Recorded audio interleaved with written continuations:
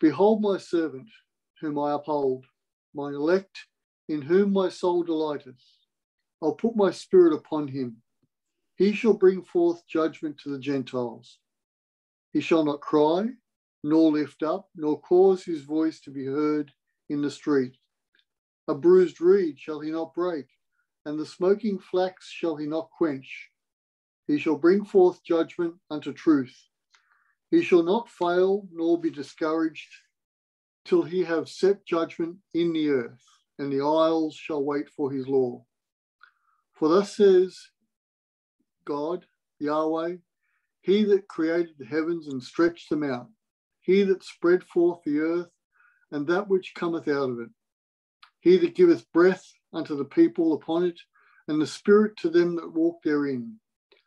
I, Yahweh, have called thee in righteousness, and will hold thine hand, and will keep thee, and give thee for a covenant of the people, for a light of the Gentiles, to open the blind eyes, to bring out the prisoners from the prison, and them that sit in darkness out of the prison house. I am Yahweh, that is my name, and my glory will I not give to another, neither my praise to graven images. Behold, the former things are come to pass, and new things do I declare. Before they spring forth, I will tell you of them. Sing unto Yahweh a new song, and his praise from the end of the earth. Ye that go down to the sea, and all that is therein, the isles and the inhabitants thereof. Let the wilderness and the cities thereof lift up their voice. The inhabitants that Kedar doth, in, the villages that Kedar doth inhabit, let the inhabitants of the rocks sing. Let them shout from the top of the mountains. Let them give glory unto Yahweh and declare his praise in the islands. Yahweh shall go forth as a mighty man. He shall stir up jealousy like a man of war. He shall cry, yea, roar. He shall prevail against his enemies. I have long time holden my peace. I have been still and refrained myself. Now will I cry like a travailing woman.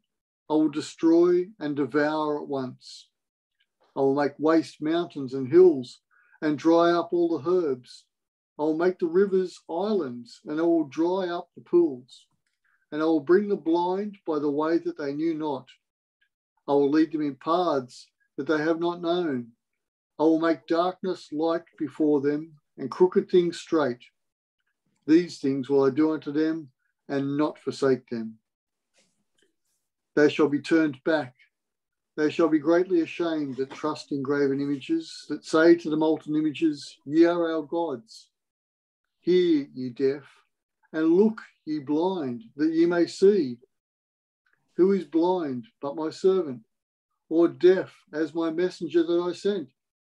Who is blind as who is blind as he that is perfect, and blind as Yahweh's servant?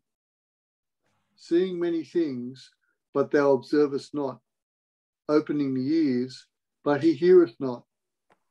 Yahweh is well pleased for his righteousness' sake. He will magnify the law and make it honorable. But this is a people robbed and spoiled. They are all of them snared in holes, and they are hid in prison houses. They are for a prey, and none delivereth, for a spoil, and none saith, Restore. Who among you will give ear to this? Who will hearken and hear for the time to come? Who gave Jacob for a spoil and Israel to the robbers? Did not Yahweh, he against whom we have sinned? For they would not walk in his ways, neither were they obedient unto his law. Therefore he hath poured upon him the fury, fury of his anger and the strength of battle it hath set him on fire round about, yet he knew not, and it burned him, yet he laid it not to heart.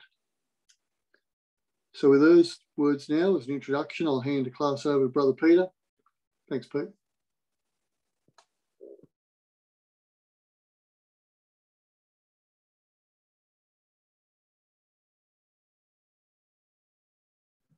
Well, thank you very much, Brother John, and good evening, brothers and sisters, and our young people. Um, the Almighty God has set in place a tremendous um, tapestry of ways that he convinces men to, to see his message. And one of the marvelous ways that he teaches people is by parallels. And he does this in a way that uh, we're familiar with in, in the prophecy of Zechariah in chapter 9. And um, I don't have time to, to walk you through um, Zechariah chapter 9, but some of you will be familiar that the Lord Jesus Christ himself and Alexander the Great are played against each other to show the great two champions of the world uh, with great uh, and, and, different um, ends and absolutely different um, outcomes. And so um, in uh, Zechariah 9, we, we find then that, um, that the, the Lord Jesus Christ is, is portrayed as being a great king. But he's a great king that comes into the city of Jerusalem lowly and walk, um, riding on a, on a foal of an ass. And we get a great picture of Alexander the Great, who has crossed the world on his mighty steed Bucephalus. And so these two men, seen as being the greatest men of history, are portrayed against each other with great uh, and, and different outcomes. And so the, the, uh, the Lord Jesus Christ would um, um, would uh, would in uh, in Zechariah chapter nine and verse five, he would defend people. But uh, regarding the outcome for Alexander in chapter nine and verse three and four, uh, he would be cast out. The results for Alexander would be one of sorrow. Those of Jesus Christ would be of rejoicing greatly. Uh, for Alexander, he himself would be a king that perished and he would kill many kings as well.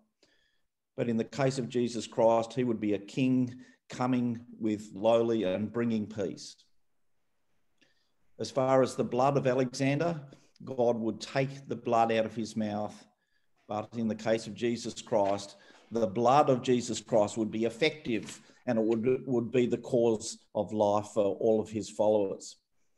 Now, just excuse me just one moment. I'm trying to, I'll need to try and see whether I can just move this little thing. Yep, sorry. I can't see all the screen there. So Alexander and Jesus Christ then are, are painted as a, an absolute contrast by the prophet Zechariah. But when we come back to Isaiah 42, our reading tonight, what we find is that part of the work of Jesus Christ was unfulfilled in the prophecy. And so in Isaiah 42 and verse 1 and verse 4, it says that, Behold, my servant who I uphold, my elect in whom my soul delighteth, clearly a reference to the Lord Jesus Christ um, himself. But he says this I have put my spirit upon him, he shall bring forth judgment to the Gentiles. He shall not be he shall not fail nor be discouraged until he has set judgment in the earth, and the isles shall wait for his law.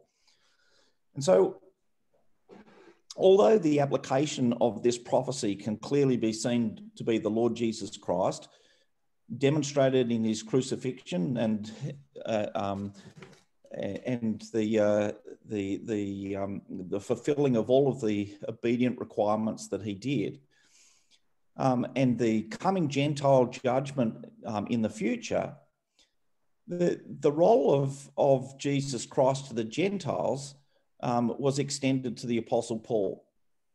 And so in verse 6 and 7, the Apostle Paul then becomes um, Jesus Christ given as a covenant of the people for a light to the Gentiles and to bring prisoners from the prison. Now, that's the very language that Zechariah the prophet in chapter 9 would pick up and say that Jesus Christ would be uh, meek and lowly, riding on an ass, coming into Jerusalem, and he would speak peace to the Gentiles. Now, we know that when he came to Tyre and spoke to the Syrophoenician woman, he said, I can't speak to you. I've come for the lost sheep of, of, the, of, of Israel. And so the Apostle Paul then was commissioned by the Lord himself when he, on the road to Damascus, said to, to Paul, Lo, I've sent you as an ambassador to bring light to the Gentiles. so the Apostle Paul then extends the parable of Jesus Christ and Alexander the Great. And so the Apostle Paul then becomes a champion who goes through all of the Greek lands and portrays the, the intent and the mission of Jesus Christ himself right through the lands of, of Alexander the Great and through his empire.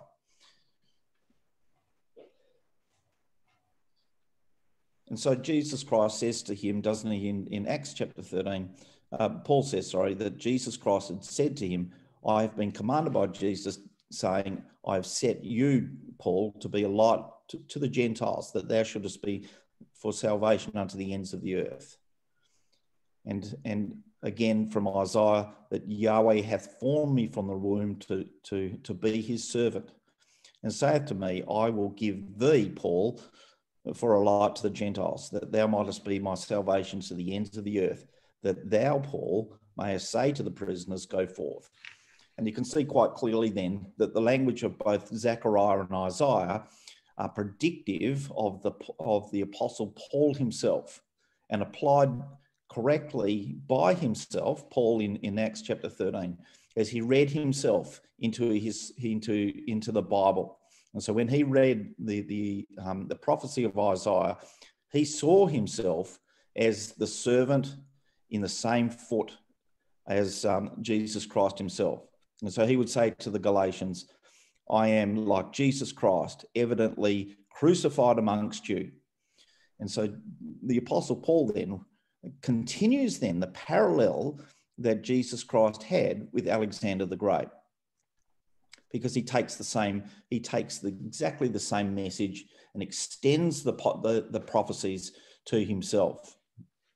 But it's interesting when you turn back then to, to Isaiah chapter 49, where it, where it talks about how Paul was going to be sent to the Gentiles. He also uses this language, which speaks of military conquest. He says of Paul that he would be made, um, his mouth would be made like a sharp sword. He's hid me and made him like a polished shaft. And in his quiver, he's hid me. So Paul was made like a sword and like an arrow. He speaks of thy waste and thy desolate places and the land of thy destruction. Here's all the language of military campaign. And that's the sort of language that Paul himself would pick up. And he would, would use those in his letters to the ecclesias, where he would encourage them to put on the whole armor of God, that we should fight the good fight of faith, that we should um, war a good warfare, that we should be a good soldier, that our weapons are not carnal, and so forth. So, all of that language that Paul uses is based then on this great parable that he has back from Zechariah chapter 9 and from Isaiah, that he would stand up against the champion of the, of the cause of that, of the, of the Greek world. And he would then show that God would be the champion over all of the forces of the Greek thinking, the Greek morality, and the Greek athleticism and, and prowess. And so Paul himself then placed into the record as a comparison to Alexander himself. One of the one of the features, though, that we find in the prophecy of Isaiah is that this, the servant who would be exalted and made very high would first suffer. And that was true also of the Apostle Paul. And this is where the two paths of Alexander and Paul uh, find their divergence. Because all of the way through his campaigns, Alexander was seeking for personal championship, for personal prowess, for personal looting, and for striving for immediate satisfaction. And that was the lot of Alexander. And so when he when he comes to, for example, to Troas, one of the places that Paul would go to as well, he would run naked in the in a like a mini Olympic Games, and he would give out crowns to each of the Greek people that participated in those games, saying to all of his troops, "If you continue with me, you will get rewards immediately on your success." That was not to be the case for Paul and all those like him.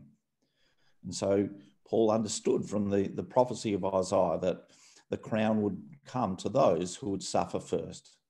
And so in Isaiah 42, we, as we've read, that, that uh, although God had put his spirit upon him, he would not cry, nor lift up, nor cause his voice to be heard in the street. He would be a submissive servant. And we read in verse 12 and 13 that first the Gentiles should give glory unto Yahweh and declare his praise. And then Yahweh would go forth as a mighty man. He would stir up his jealousy like a man of war. He shall cry, yea, roar, and he shall prevail against his enemies. And so this, this, this, this campaign that, that Paul would undertake was one of careful and patient endurance, not immediate satisfaction and victory like um, Alexander the Great. And so we'll find then, as we go through um, the, the record of Acts chapter 20 and 21, uh, in fact, it actually encompasses more chapters than that, but, but the, the most pointed examples in those two chapters illustrate quite clearly that Alexander and Paul, although being in exactly the same places, had two different goals and two completely different methods to, to find victory for themselves and for their fellows. But one thing is definitely the same, and that is that Alexander the Great and the Apostle Paul both were driven men. And so the Apostle Paul would go right throughout the then known Roman world. He was a driven man taking the message. And we know that all the things that he went through, that he was stoned and he was shipwrecked three times, and that he was left for dead, and he was smitten and he was scourged and he was imprisoned. All of these things. And yet, despite that, the Apostle Paul could be a driven man, driven by his, by his consciousness that he was once uh, a mocker of the gospel. Sorry, Pat. Yep.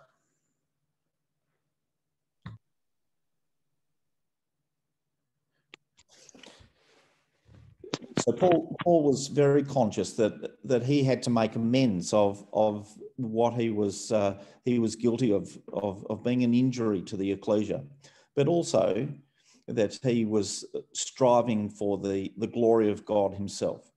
And so Paul was driven with a purpose.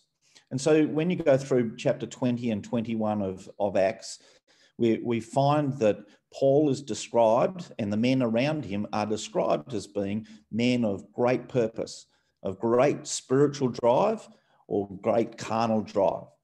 And so there was men who laid in wait. And the Greek is, um, is very interesting. It has got the idea of men born with a purpose. And that's what Alexander would think of himself that he was no ordinary man, that he was actually born to be a man of destiny. Paul himself purposed to go through Macedonia. He was ready to depart. He was minded in himself to go afoot. He was determined to sail. He was bound in the spirit and he comes with a, with a straight course and he launches himself to go to Jerusalem, even though he knew that sorrowing, sorrow and, and difficulty would be there. And I suppose that really then asks us the makes us ask the question: when we get out of bed in the morning, do we have a plan? We, brothers and sisters, have a plan to to um, to to highlight the the glory of God in our life? That we're going to speak and think of His things rather than the things that are immediately necessary for ourselves. Is that the sort of people that we are? Are we driven with a purpose? And that's what the, the real lesson that we're going to learn out of Acts 20 and 21 and the lessons of Paul standing next to Alexander. So when we go then to, uh, to um, the journey of, of Paul in his third missionary journey, I'd just like to very, very quickly, I, I don't want to go through the detail here because we could spend probably three nights talking about the detail. But the but the these maps will show to you that there is absolutely a remarkable parallel in the places that Paul and Alexander go to. They're sequential and parallel. And so both Alexander and Paul go from Athens uh, and down to Corinth to establish themselves as a foundation point for their journey. And so Alexander goes down and, and he has um, a sequence of, uh, um, of, of battles against different tribes of the Greeks. And they all come together to form what they call the League of Corinth before he launches forth to collect his army up in the lands of Macedonia and then go on to his battles across the then known world. It's very interesting, too, then, that the Apostle Paul, having left Athens, comes to Corinth. And, and from the record of 2nd of Corinthians chapter 8 and 9, he forms a league based out of 2nd of, of, of Corinthians 8 and 9 to collect money for the poor uh, brethren in Jerusalem. And there is an agreement across the ecclesial world that is formed in Corinth that there would be the necessity to gather funds to support the children, uh, the, um, the brethren in Judah, because they were to go through a time of famine, something that had been predicted before he had left. And so both Alexander and, and uh, the Apostle Paul launched themselves from, from Corinth and go into this campaign. They, they come through Macedonia, they select, uh, they collect an army. And so in chapter 20 and verse 3 and 4, um, Paul selects all of the all of the men that are now collecting all of the, the funds from the Gentiles. They then um, join together uh, in the lands of Macedonia, the, the very heartlands of, of um, Alexander himself. Paul then comes from Philippi and across to Asia and comes down to two specific events in, in Acts 20, the same two spectacular events of Alexander's campaign in Asia, that being in Troas and in Miletus. Both Alexander and um, Paul finally make it to Tyre, where um, it says of Paul that he would unladen his burden off his ship at Tyre. In Zechariah 9, chapter, chapter 1, uh, sorry, Zechariah 9, verse 1, would say that there would be a burden that would be coming out of Damascus and it would lay on Tyre. And so the, there's this distinct parallel in language and in location and, and pursuit of the, of the of the, the um, interests of the great king of the world. And that's the, that's the parallel. And so although we'd like, love to spend some time talking about the, the detail, I wanted just to illustrate that both the Apostle Paul and Alexander the Great followed a sequential uh, and um, journey to almost exactly the same places right across their campaign. Quite remarkable. So one of the so in Acts chapter 20, there is a deliberate there is a deliberate break in the chapter, and in the chapter there is there is um, two specific journeys that are given. One is by foot, and the other is by sea. One is by foot from Troas to Assos, uh, and the second is um, a journey of the elders of the ecclesia at Ephesus to come across by road uh, because um, Paul had come in by sea uh, into Miletus. And those two journeys are put then in comparison to each other across the, uh, across the chapter. One reveals a young man, a picture of a young man who is now a resurrected young man who comes out of Troas. The second is a picture of old men at the end of their journey. And the and the comment and the conclusion of Paul's um, um, third missionary journey, where he is surrounded by old men and elders, and so there is a deliberate um, journey of life that is that is painted in the book of Acts and in chapter twenty. And the first journey that that we're introduced to is the one at Paul at Troas, and it's interesting that Paul first is is demonstrated to be the very spirit of Jesus Christ himself it shows to us that there was a young man who was in a window. Now, in the Old Testament, the word for window is, is, is kulion, which has got the idea, or chulion, which is the, is the idea of churl. And we understand, we understand the idea of churl. as something that's turned around and it's, and it's, and it's turned until it's a real pain. It's the same idea in the Hebrew It's got the idea to bore a hole in something. And so you perforate a wall or pierce a wall. And it's a picture of Jesus Christ, isn't it? So here's a young man who's going to be pierced. It's, a, it's an event of much speaking. and Jesus Christ himself would be a declaration of the principles of God so that all men in Jerusalem would know of that event. Would be the time of unleavened bread for Paul. It would be the time of the death of Passover for our Lord. The disciples went before and they're found in an upper room. And in the time of Christ, the disciples would go before and prepare an upper room where they symbolically would join with Jesus Christ in the events of his death. It would be a deep sleep. And then the man would fall from the, from the window and uh, be apparently dead on the ground. The Lord Jesus Christ would also um, be seen on the ground. And, but in, in this uh, falling into a deep sleep, I believe there is a, uh, a reflection then that there would be a, a long standing sleep that had existed from the time of Adam right till the time of Jesus Christ.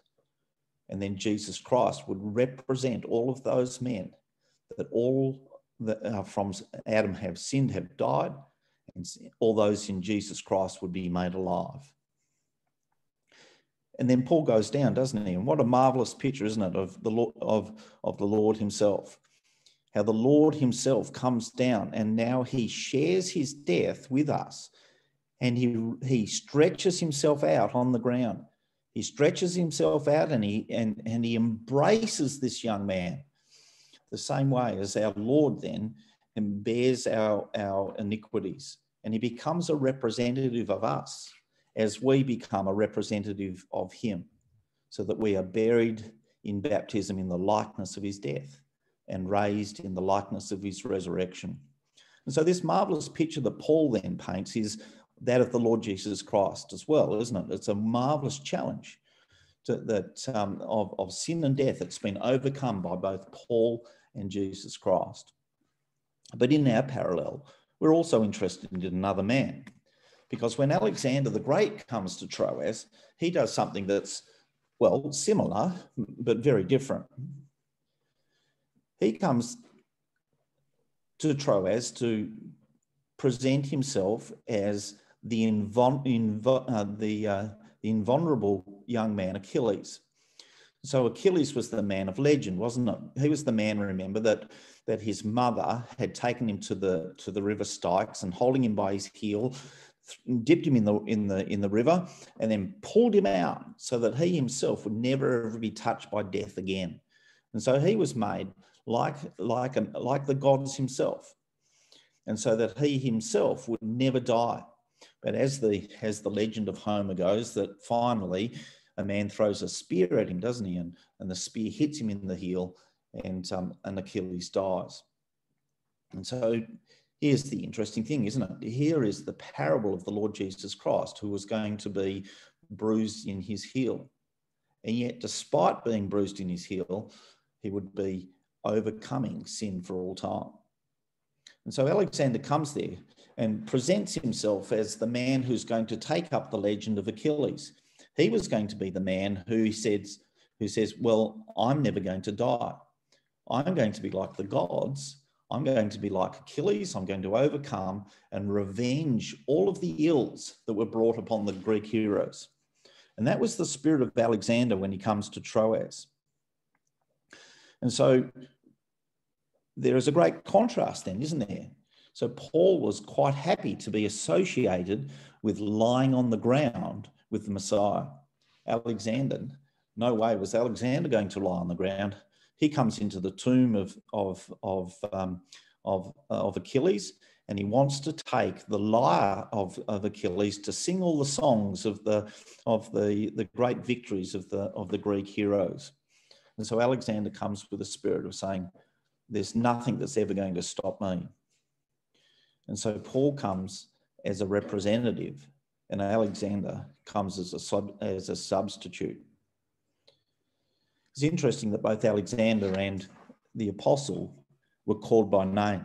And so when Alexander was, uh, was, was um, at Delphi, that he would, um, he would be declared by name as being the second Achilles and the victor of Troy. It's interesting that when Paul was called to his commission by, Paul, uh, by the Lord Jesus Christ, he would say, Saul, Saul, why do you kick against the pricks? And so he was named by the Lord. So the power of Paul, representing the Lord Jesus Christ, was in the restitution or the restoring of people from the dead, whereas the power of Alexander was one of vengeance. And so this great contrast then is going to be painted as we go through chapter 20 and 21 that Paul and Alexander are on this maybe on the same um, physical space, but they're on two complete different journeys.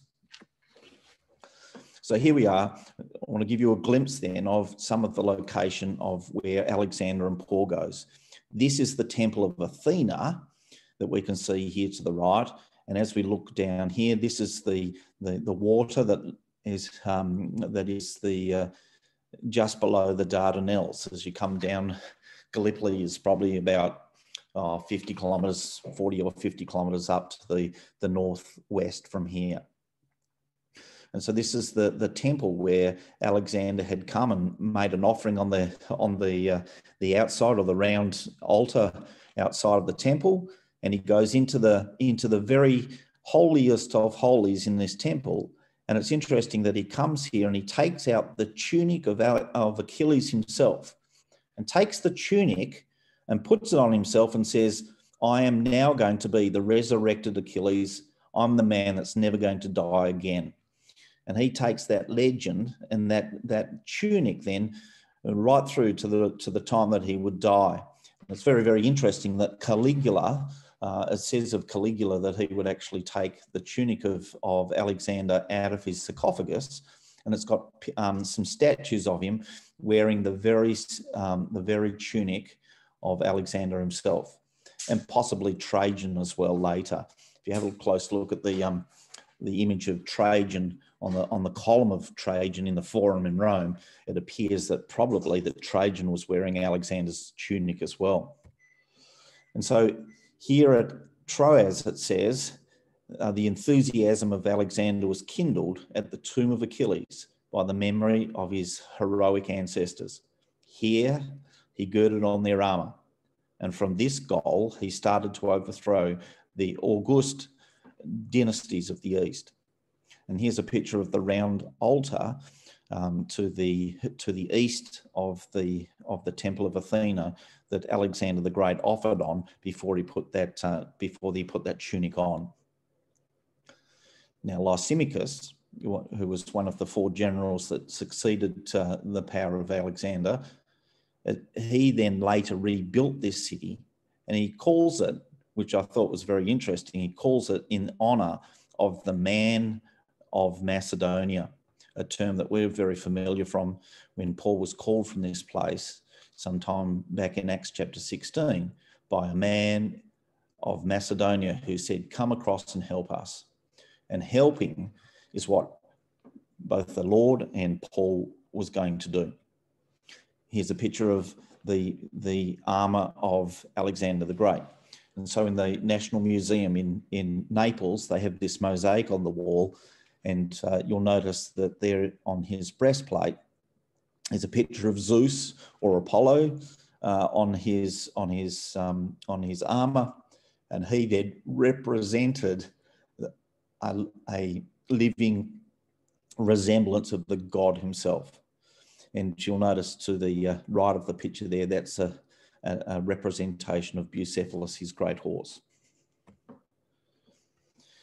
And so from Troas, we find then that there's a, a start of a great journey. And so for the Apostle Paul, it was going to be the journey of being a resurrected young man. He was going to be a resemblance of Jesus Christ himself. He'd lied down on the ground, and the Spirit of Jesus Christ had raised him from the dead and sent him to be his representative through the world. And so that was the journey of, of the Apostle Paul. But what of the what of um, Alexander the Great from Troas? Well, here's a here's a, uh, a picture of the port on some of the, the the stone columns that were at the port. It's interesting that a lot of the stone columns that came from this port were taken later to to Constantinople and built the new Troas at, at Constantinople. And Troas became then the eastern capital uh, um, of the Roman world. And it's interesting that both uh, um, Julius Caesar and, uh, and Constantine um, um, celebrated Troas as being the seat of victory for, um, for the eastern lands, taking the spirit of Alexander the Great himself. But it says uh, in, in Homer's, uh, Homer's Iliad, it says about, uh, about one, of the, one of the heroes that he walked off in silence along the shore by the tumbling and crashing surf.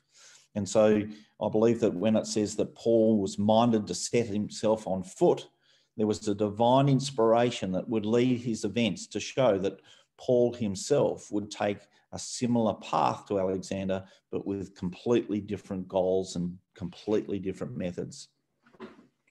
And it says in Homer that some distance off that he would pray to Apollo. And so about sort of 20 kilometres or 25 kilometres to the south of, of Troas, um, or Alexander Troas it's called, um, we find that there is a temple to Apollo. I believe that this was, the, this was the place that Alexander the Great would come by foot after his victory at Granicus and his celebrations at Troas. And so Alexander would come here. So the question has to be well, why did Alexander the, the Great come here? And can we get any glimpses then of the meaning of Paul's walk from Troas to Assos out of what Alexander the Great did? And I believe we can. And here's a map of, of that journey. We see to the north, here is the, the town of Alexander Troas. Troas. It's interesting that the word Troas, incidentally, is the idea of a foot soldier, a man, a soldier who would walk by foot. And so when the Apostle Paul and Alexander were to walk to the south, they would go forward as being foot soldiers of their various champions Alexander of Apollo and Paul of the Lord Jesus Christ. And so they walked to the south down to a place called Apollo Sminthian, and then across to Assos, which is around the corner of the Biga Peninsula. The road came down across here to a river where there was a, there's a bridge that we can find today. And the bridge here um, that sort of that um, the remnants are found in, in a farmer's paddock there, the flagstones were completely smooth. And unlike most city, most bridges and pavements in the ancient world, they're all rutted with the with the marks of either um, continual foot traffic, um, ho- um, shoed horses, or, or ruts from chariots. And many many places you go through the through the ancient world, you can see those ruts.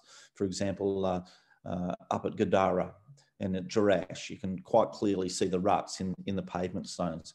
But in this road, you can't, because there was a tradition that no man would ride his horse or take a chariot into the temple. They would all be foot soldiers. They would be men that were that were traveling by foot. A very interesting uh, a feature that sort of paralleled the, the work of Paul. And so here's the pavement. Here's the pavement that would lead up to the temple of Apollo Sminthian. And that uh, those pavement stones were were were, uh, were very very smooth with no no um, um, chariot wheel marks on them. So here's the words of Homer. And I thought this was very, very interesting because it illustrates probably the spirit of Alexander as he moves out of Troas and the spirit that he's got in his mind. Because now, as the as the conquering victor or the incipient conquering victor of the Persian armies, he would then say, "Well, I'm going to revenge all of the great the Greek tragedies of Achilles. And so there was a high priest who Agamemnon would, would capture his daughter. And the, the high priest um, was, was very saddened, obviously, because of this. And so he turns to Apollo in prayer and says, Apollo, I want you to avenge the capture of my daughter. And that's what this, this little section of, of the Homer's Iliad is about. And we'll read this. He says, The old man, afraid, obeyed his, obeyed his words. He walked off in silence along the shore by the, by the tumbling, crashing surf. And here's the picture of Alexander and, and the, the Apostle Paul sometime later, that they would themselves walk by road to the south. And some distance off, he prayed to the Lord Apollo, Leto's fair haired child, God with the silver bowl, protector of Chryse, sacred Cilla, mighty Lord of the Tenedos, Sminthian Apollo, hear my prayer. And so he, he, he gives them all of these titles and he says, Well, this is here's my prayer. If I've pleased you with a holy shrine or burnt bones for you, if, if I've given bulls and goats well wrapped in fat, then grant me my prayer. And so here's the spirit of Alexander. There is a uh, there is a spirit that says, well, if I've done this, then then you I have an expectation that you will grant something back to me. And so here's the type of language of, of the spirit of the Grecian power. It's give and take. If I do this for you, God, then you have to give me this. And further to that, he says this He says, If I've done this and I've given you bulls and goats well wrapped in fat, then force the Danaans to pay full price for my tears.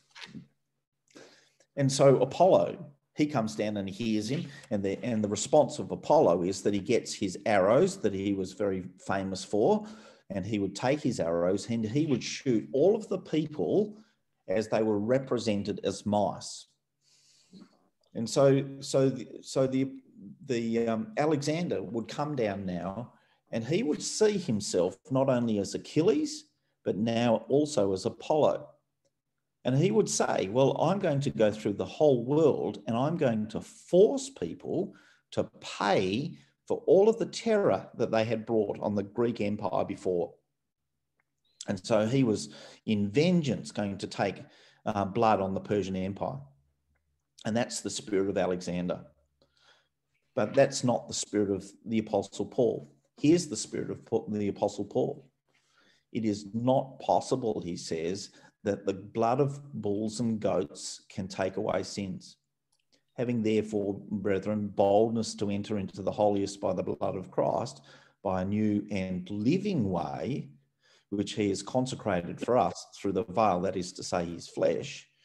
So, so the Apostle Paul would say that the blood of bulls and goats cannot take away sin. There has to be something better, and that is a willingness of spirit that says, I'm willing to be crucified for the interest of God first. That all of my personal desires in life need to be overcome by a driving spirit of God's righteousness. And that's, that's what Hebrews 10 is all about, isn't it? And so here's the spirit of the Messiah in him.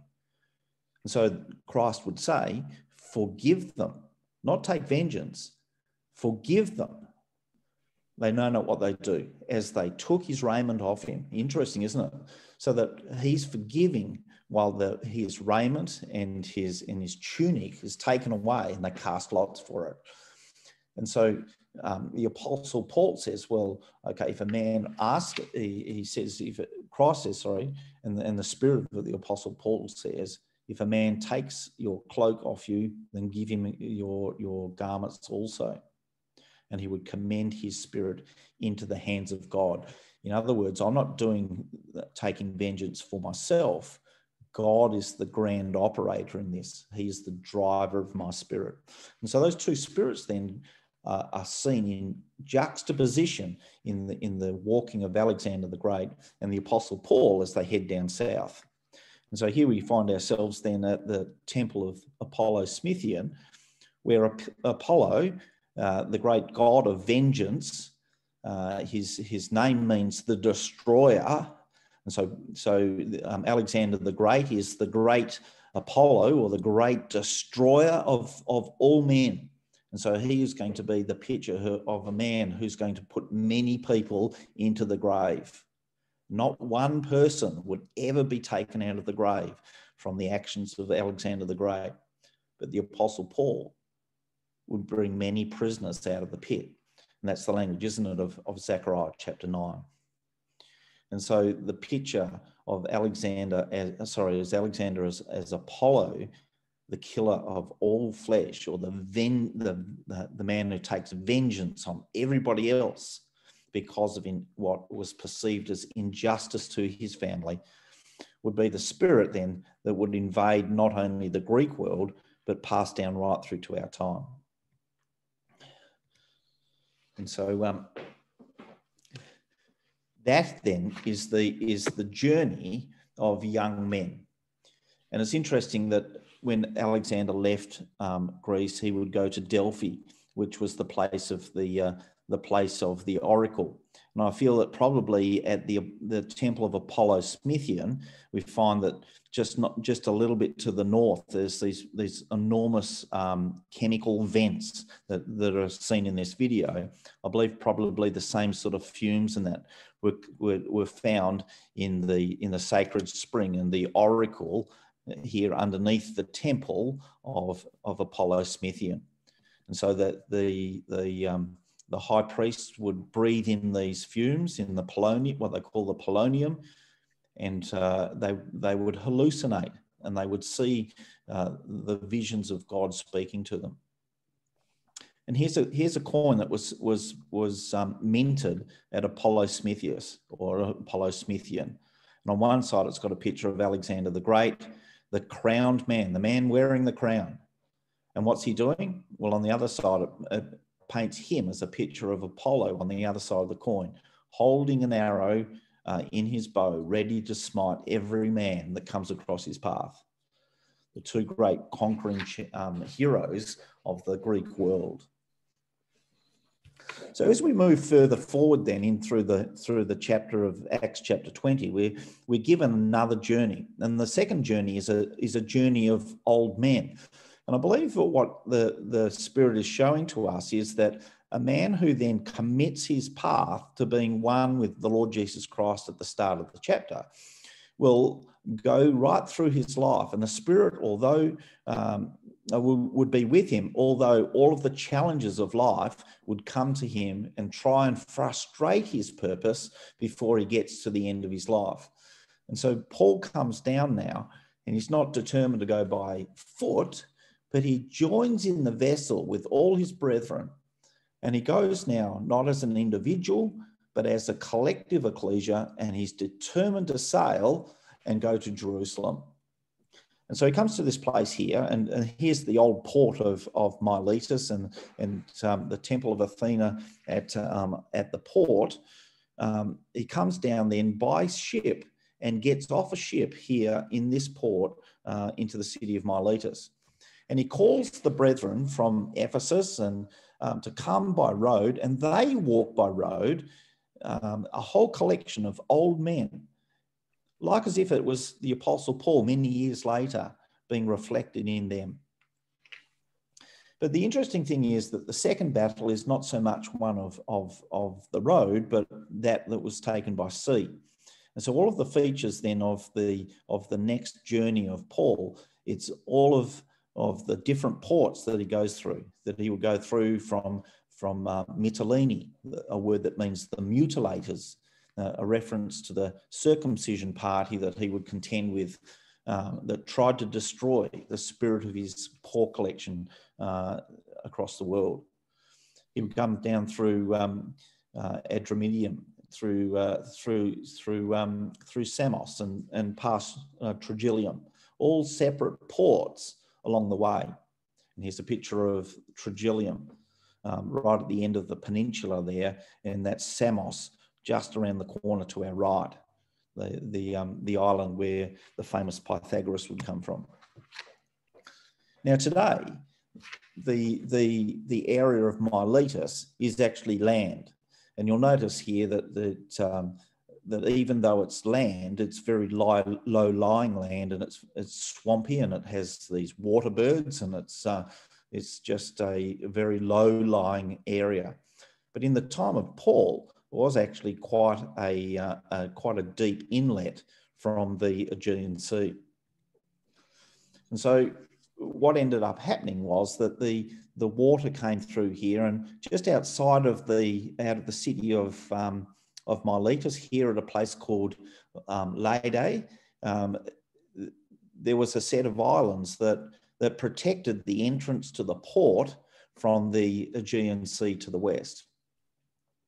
And so Alexander's uh, naval vessels came in here and they, they took the high ground and they forced all of the Persian um, naval forces who were to support the, the men at Miletus. And if they had, Alexander would have never got in there. So very cleverly, Alexander came in here with his naval forces and took the high ground here at, um, at Lade and, and established a ring of naval vessels right around the city so that nobody could get in or out with supplies. And so, um, so the, the conquest of Miletus was actually one given by sea.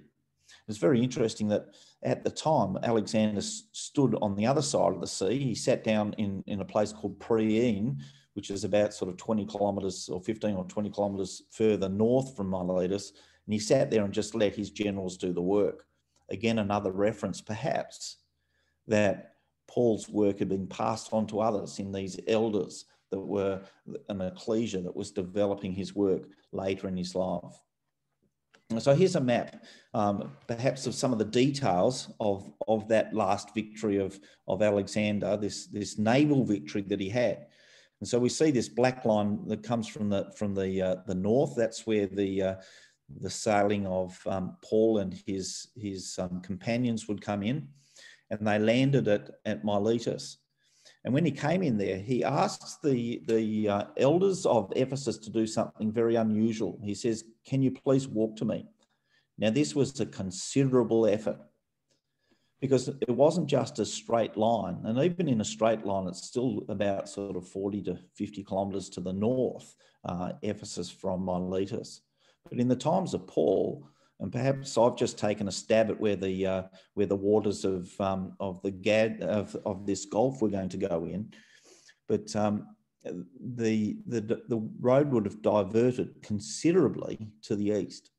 And so these men walk for miles to come down and see, see, um, see Paul. And this is old men we're talking about. You know, these are men with that needed hip replacements or you know worn out knees. So, so this was a real effort for them.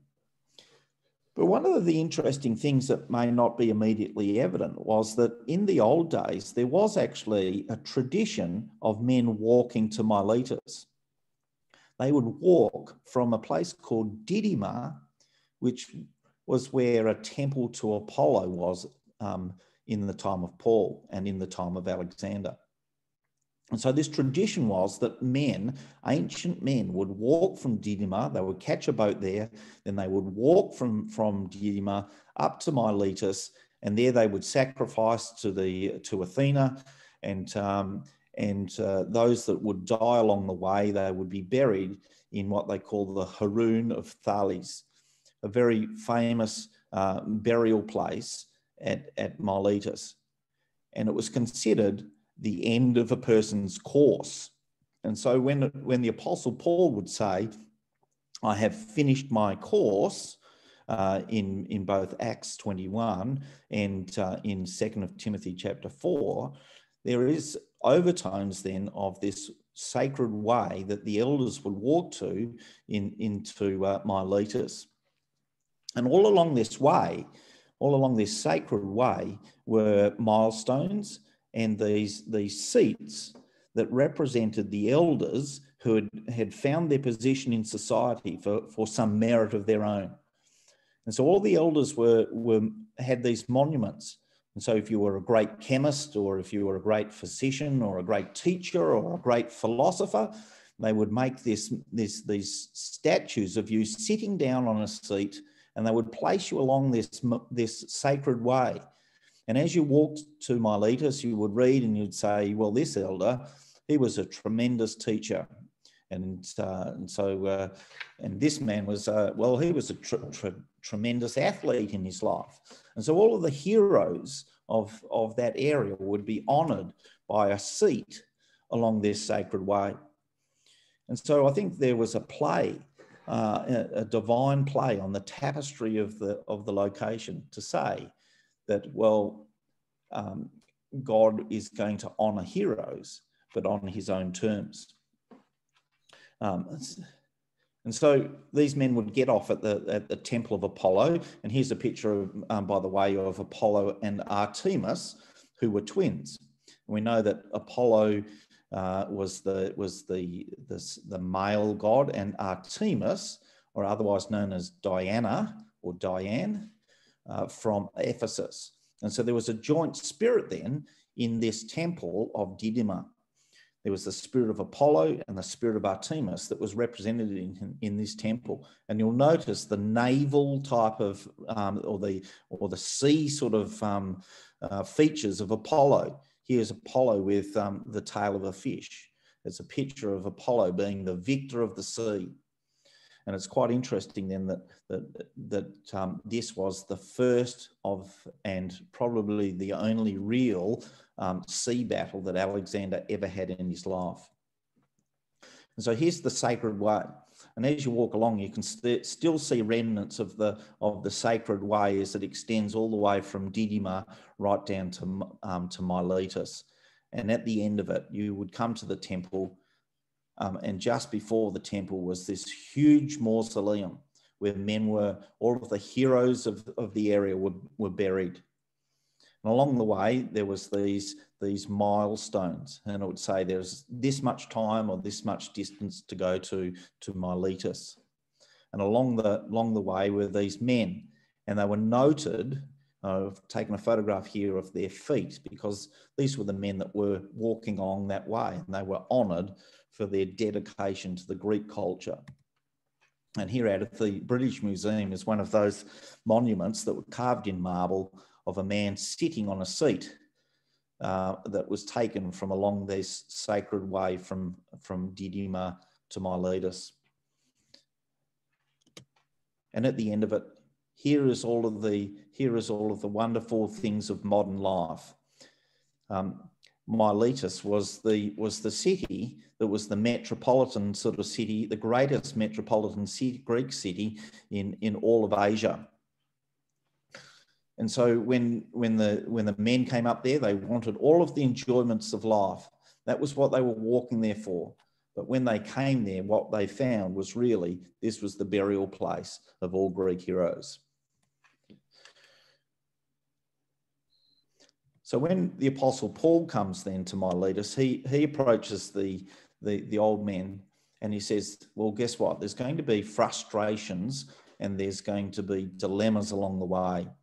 And so throughout chapter 20, the end of chapter 20 and through chapter 21, if it presents men that are, have this unresolved, this un, um, and, and un, um, un, unrestrained spirit like Alexander the Great, well, and, and like the Apostle Paul, here was going to be men whose spirit was going to be challenged.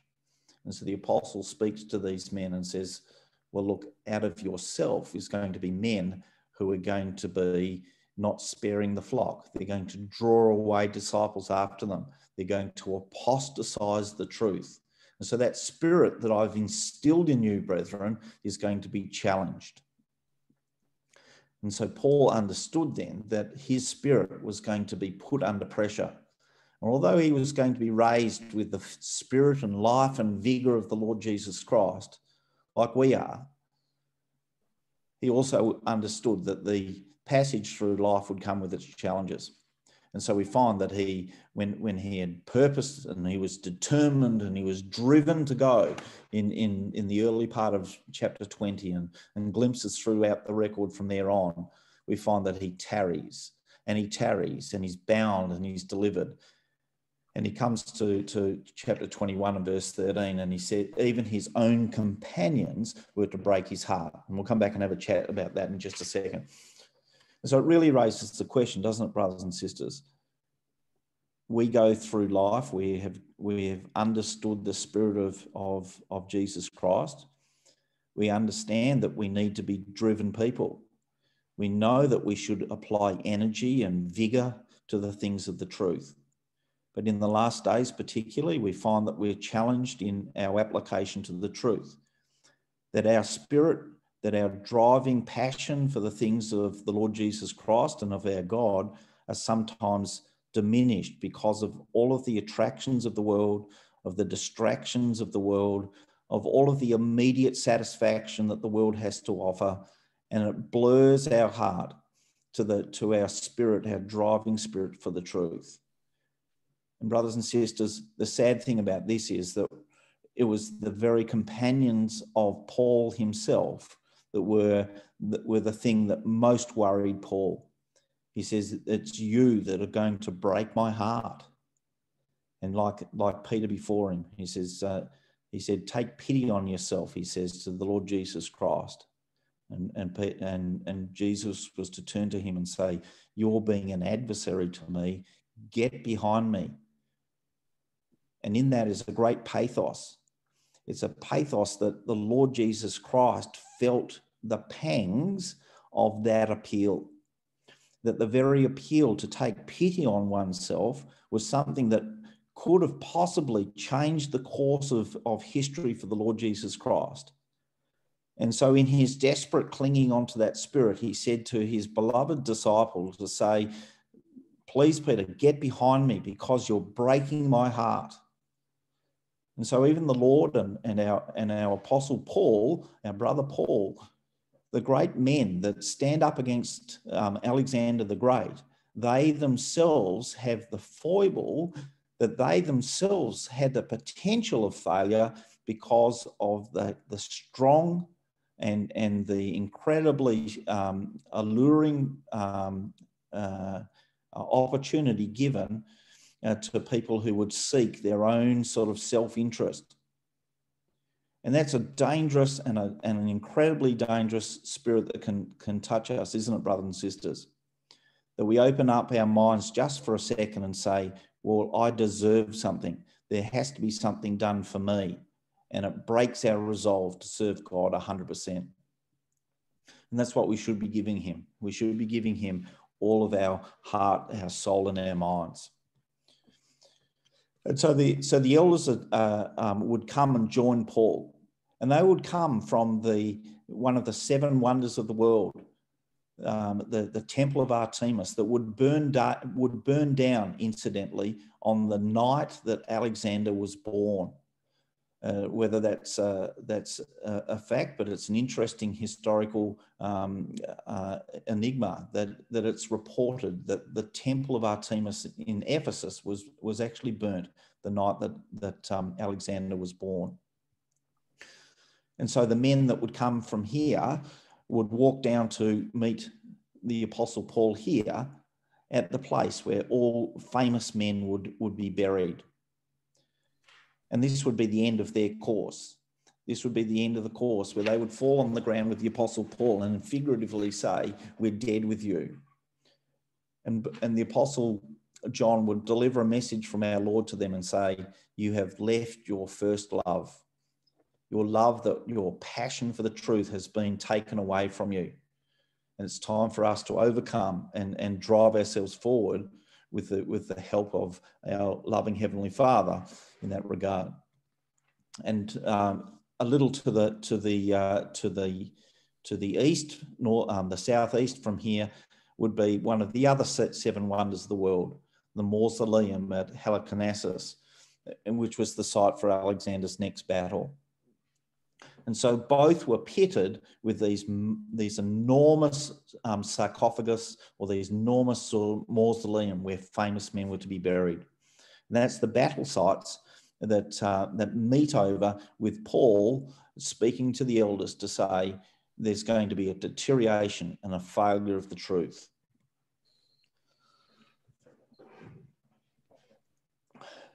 So it's interesting then what is the question then? The question that we have to learn out of all of this. So, what is our war? If we're going to stand next to the uh, uh, the Apostle Paul and to Alexander the Great, what is our war? Well, our war is being committed to the truth, isn't it? And it's interesting then. So, when he comes then in Acts 21, verse 16, it says that he, they brought with him one Mnason of Cyprus. Um, the word Cyprus, by the way, is the word for love. He was an old man, an old disciple, one from the beginning, it's, it's really in the Greek. So it's one that's been from the beginning and he's still alive, one that has been driven by love. And he says to him, Come and lodge with me. And here's the answer to the, to the dilemma of Paul. If his brothers and sisters would break his heart, God, in his great mercy, would send somebody to strengthen him. In the case of the Lord, it was an angel. In the case of Paul, it was this man, this man, Mnason of Cyprus. And we can do this for each other, brothers and sisters. We can be the people who can lift us up off the ground. We're the ones that can be the, the ones in the end of our life who will still hold the love of the truth. And so, brothers and sisters, here is the importance of, of understanding and appreciating our old people, our old brothers and sisters in the meeting. We can look at our brothers and sisters in the meeting who consistently come each week. They come as an example of the retained love of the truth over many and, and uh, difficult years. And so they took them They took the Apostle Paul and said, In your journey to Jerusalem, we're with you. You should lodge with us. And here's, the, here's a demonstration of the, of the marvelous power of the example of pulling somebody else aside and saying, You're committed to a great cause. So we're now familiar then that Alexander and Jesus Christ and Paul are put next to each other. The question then is, what about us? Well, I'll draw your attention back to a verse out of Zechariah chapter 9 and verse 13. And it's a very interesting one because he says, not only is he going to work with this king who's lowly and riding a, an ass into Jerusalem, but now he's going to take up sons. And so this king has sons. And he says, I'm going to incorporate your sons in, in your journey. And he says to Judah that I am going to bend you, Judah, like a bow. I'm going to fill the bow with Ephraim like arrows. And then when I've done that, I will have raised up thy sons, O Zion, against thy sons, O Greece. And so, brothers and sisters, we are then placed in contrast to Alexander the Great. You and I are placed standing next to the champion of the Greek world, the man who overcome and made the greatest empire that anybody has ever known. And so it's a very interesting uh, use of expression here. Because when God says that he has bent the bow and filled it with Ephraim, I want you just to pause and think about how that actually happened in old time. So, what they had was these wooden instruments that they used to use for bows, and they would lay them on the ground and because they were so stiff and powerful, they actually had to lean on them. They would actually put their foot on their knee and they would reach out with one hand and put the string or the sinews, the the the um, the the, um, the weaved sinews of animals on one end, and then by putting their feet on this bow, they would stretch their hands out and then bend the bow to attach the other end of the string, and the, the bow was then ready for for use. But in the in the very actions of filling a bow with its string is actually the, the figure of a man being crucified. Here is a wooden instrument that's put on the ground. The man is then lying over it and he stretches his hands out to embrace this wooden instrument. He then becomes a man that's been crucified. And so, brothers and sisters, we too share the, the task of, of being crucified with Jesus Christ as Paul was. And it's interesting then that when he's raised up thy sons, it says, they're going to be sons of Zion, a word that means sign. We're going to be men of sign, men that are, uh, are resemblance, men that resemble the, the great one who has been bent like a bow before.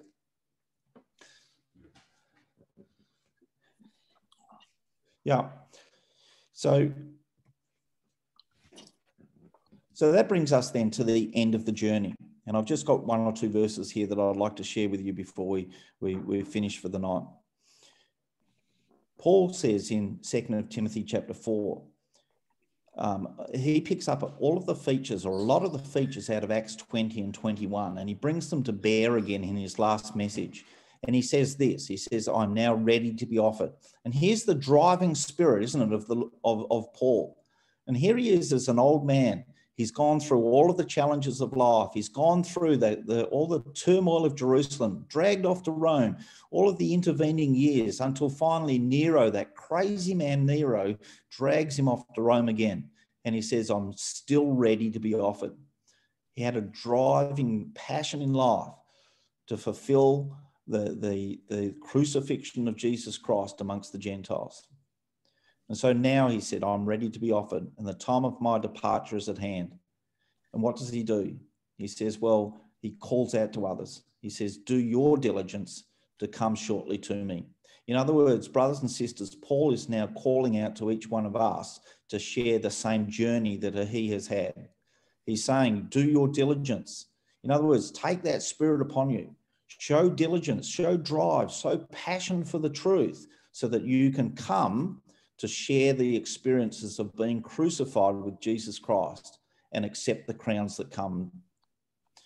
And he says, Well, the, the Lord is going to give me crowns, but not to me only, but to those also who love his appearance. But he says a couple of very interesting things. In the next couple of verses, he says this the cloak or the tunic that I left at Troas, when thou comest, bring with thee, but, but especially the parchments Alexander the coppersmith, the man who builds brass men, did me much evil. And it's interesting that he drags the name of Alexander the Great into his last message. And he says that the spirit of Alexander, Alexander is going to do much damage to the truth. And so, brothers and sisters, on our journey to then of our association with the Lord Jesus Christ, it's the spirit of Alexander the Great that's going to destroy us from getting to the end.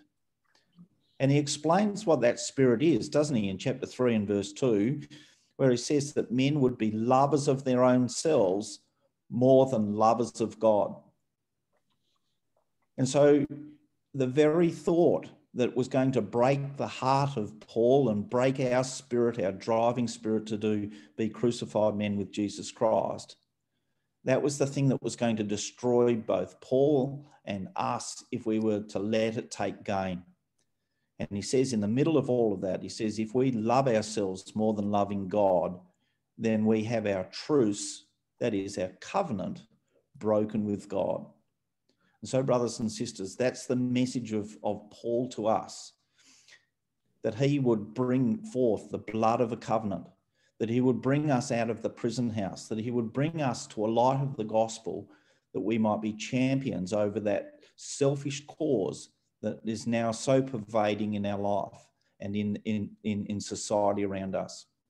Brothers and sisters, let's not give space to the very thought that we deserve something.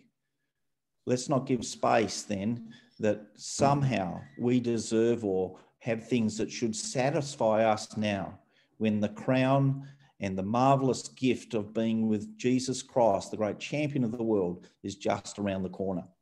Thank you.